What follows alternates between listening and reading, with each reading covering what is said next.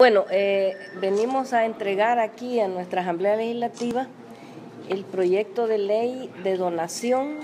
y trasplante de órganos, tejidos y células humanas, que nosotros esperamos que este primer órgano de, de Estado la convierta en una ley de la República.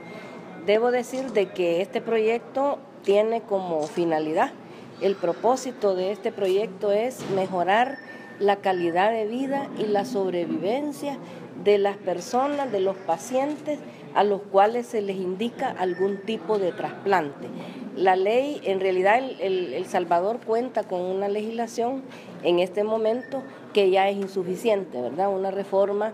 que se hizo hace más de 15 años al Código de Salud, pero que ahora sí viene una ley completa. La ley eh, creo que tenemos que ponernos a la altura de cómo están otros países, ¿verdad? Otros países han avanzado mucho en, cuanto a, muchos aspectos, como son el avance con el uso de los fármacos, de los inmunosupresores, los injertos están teniendo cada vez más éxito y en El Salvador, aunque se han desarrollado centenares de trasplantes, sobre todo por parte del Seguro Social y algunos por parte del Ministerio de Salud, ya necesitamos tener una normativa que, que deja algunos vacíos. Por ejemplo, este proyecto de ley crea la Comisión Nacional de, de Trasplantes, ¿verdad? Por ejemplo, esa comisión es la que le va, esa, esa, sí, esa comisión, ¿verdad? Es la que le va a dar el seguimiento a la ejecución de la ley y a la política nacional de trasplante. Eh, va a ser una, una entidad autónoma descentralizada que va a llevar los registros nacionales, por ejemplo,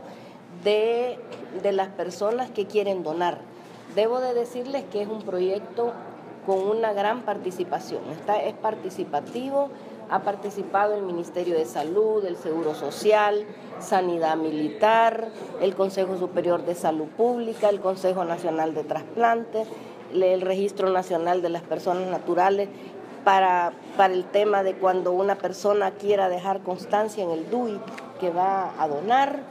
Eh, en fin, hay otras organizaciones, la Comisión Nacional de, de, Bioética es un proyecto bastante bien elaborado, bastante bien consultado y además regula algo que todavía en nuestro país no está muy claro, que es el problema del tráfico de órganos. Eh, todo eso lo deja regulado en estos 67 artículos que tiene este proyecto de ley. Nosotros como fracción del FMLN estamos uniéndonos a este gran reto que ha presentado el Ministerio de Salud este día a través de la señora ministra y todos los colegas que han trabajado en este proyecto, incluyendo a, a los nefrólogos, por supuesto, que son parte importante en esto. Eh, queremos decir que como pueblo salvadoreño y como fracción nos sentimos sumamente halagados, pues vamos a trabajar en un tema que para nosotros es prioritario a nivel salud. Estamos sacando un alto porcentaje del presupuesto que va para el Ministerio de Salud, específicamente para pacientes renales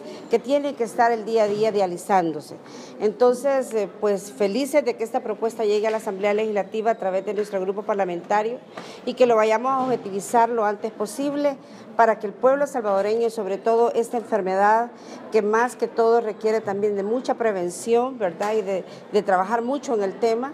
eh, en la forma de cómo nosotros lo estamos eh, llegando, se llega a padecer la enfermedad, eh, consideramos de que vamos a tener una ley